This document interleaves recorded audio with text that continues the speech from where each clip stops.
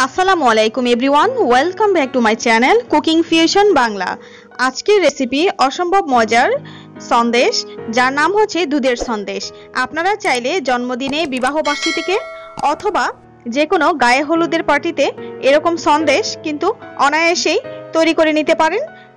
তাহলে কিন্তু সবাই খুব প্রশংসাই করবে। তো চলুন দেখে নেওয়া যাক কীভাবে তৈরি করতে হয় তার প্রস্তুত প্রণালীটি।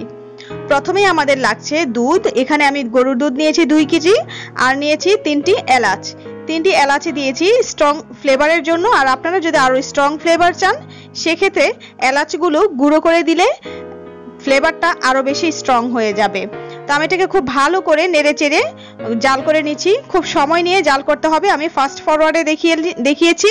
আপনারা কিন্তু অনেক সময় নিয়ে এটাকে জাল করে নেবেন। জালটা কিন্তু থাকবে, চুলার আঁচটা থাকবে মিডিয়াম টু লো আর এখানে দিয়ে দিলাম চিনি। আমি টোটাল দেড় কাপ চিনি ইউজ করব মেজারমেন্ট কাপে দেড় কাপ দুই কেজি দুধে দেড় কাপ চিনি ইউজ করব। আপনারা যদি মিষ্টির পরিমাণটা বাড়িয়ে নিতে চান, সেক্ষেত্রে আরও বাড়িয়ে দিতে পারেন। এখন দিয়ে দিয়েছি আরও হাফ কাপ প্রথমে দিলাম এক কাপ তারপরে দিয়েছি হাফ কাপ টোটাল আমি দেড় কাপ চিনি দিয়েছি। আর এখন আমি এটাকে নেড়ে চেড়ে, অনবরত নেড়ে চেড়ে নিব। আর আগে থেকে যে এলাচি দিয়েছিলাম, এলাচগুলো তুলে ফেলে দিব। দেখুন, দুধের কালারটা কিন্তু অনেকটাই চেঞ্জ হয়ে গিয়েছে। এটা দুধের কালারটা চেঞ্জ হওয়ার পিছে একটাই কারণ, এটা আমি চুলাটা অল্প আঁচে একটু সময় নিয়ে জাল করেছি। এখানে প্রায় তিন ঘণ্টা পঁচিশ মিনিট আমি জাল করেছি দুধের কালারটা এজন্য কিন্তু চেঞ্জ হয়ে গিয়েছে। আর চুলার আঁচটা কিন্তু মিডিয়াম টু লো ছিল। একদম ফার্স্ট টু লাস্ট পর্যন্ত মিডিয়াম টু লো আঁচে আমি এই দুধটাকে জাল করে ঘন করে নিয়েছি। চিনি আর দুধ। উপকরণ কিন্তু খুব বেশি কিছু লাগে না। খুব অল্প উপকরণেই তৈরি করা যায়। জাস্ট দুইটা উপকরণ দিয়েই এই দুধের সন্দেশটি তৈরি করা যায়। কিন্তু এটা অনবরত নেড়ে চেড়ে নিতে হয়, নাড়াটা বন্ধ করা যাবে না, তাহলে নিচে লেগে যাবে। এটা যাতে নিচে লেগে না যায়, সে, সেজন্য অনবরত নেড়ে চেড়ে নিতে হবে। এতটুকুই কষ্ট। আর দেখুন, এরকম কনসেন্ট্রেস কনসেন্ট্রেসি থাকতেই আমাদের এটা নামিয়ে নিতে হবে। হুম, অন্যথায় কিন্তু আরও বেশি শক্ত হয়ে যাবে, কারণ এটা ঠান্ডা হলে অনেকটাই শক্ত হয়ে যাবে। সেজন্য এরকম নরম অবস্থায় নামিয়ে নিতে হবে। তা আমি তৈরি করছি সাঁচের মধ্যে। এরকম সাঁচ কিন্তু অ্যাভেলেবেল কিনতে পাওয়া যায়। আর এটা খুব গরম গরম অবস্থায় তৈরি করে নিতে হবে, অন্যথায় শক্ত হয়ে গেলে এটা কোনো শেপ তৈরি করা যাবে না। আর আপনারা যদি কোনো ডিজাইন করতে না চান, সেক্ষেত্রে শুধু রাউন্ড করে বা যে কোনো পছন্দ মতো ডিজাইন করে নিতে পারেন। তো আমি হাতে চেপে চেপে দিচ্ছি।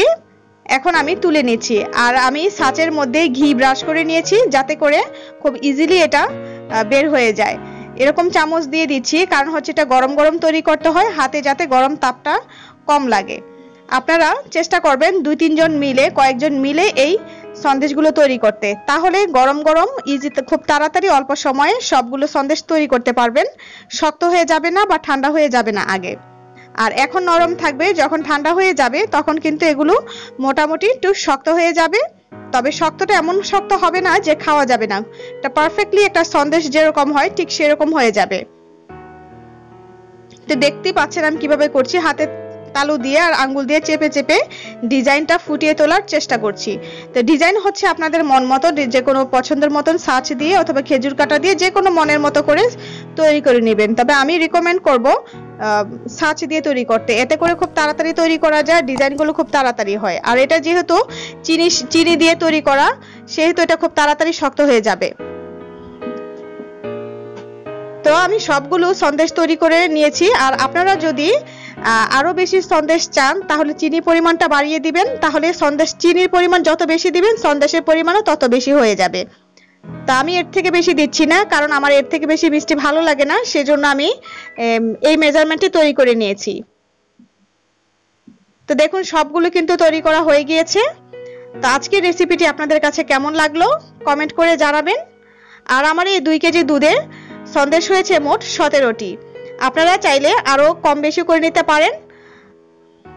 তো আজকের রেসিপিটি যদি ভালো লেগে থাকে, চ্যানেলটি সাবস্ক্রাইব করবেন। আর যারা সাবস্ক্রাইব করেছেন, তাদেরকে অসংখ্য ধন্যবাদ। ভালো থাকবেন সবাই আল্লাহ হাফেজ।